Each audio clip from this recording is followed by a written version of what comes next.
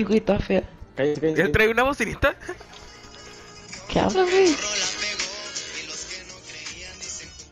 Neta, hay gente que de verdad escucha estas canciones, güey, así, güey.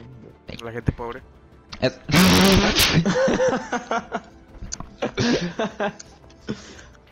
Pues sí, güey, cuando es tu pinche rico escuchar esas pendejadas a la verga. Pues sí. Puro jodidito, digan, güey. Pues pinche Wario se descoció. Que te digan, ay, güey, ¿tú qué haces, güey? ¿Por qué eres tan rico, güey? ¿Qué música escuchas? Ay, yo Manuel Rodríguez, a la... Pero tumbado, mijo. Obviamente no, güey, ese güey escucha Mozart, güey.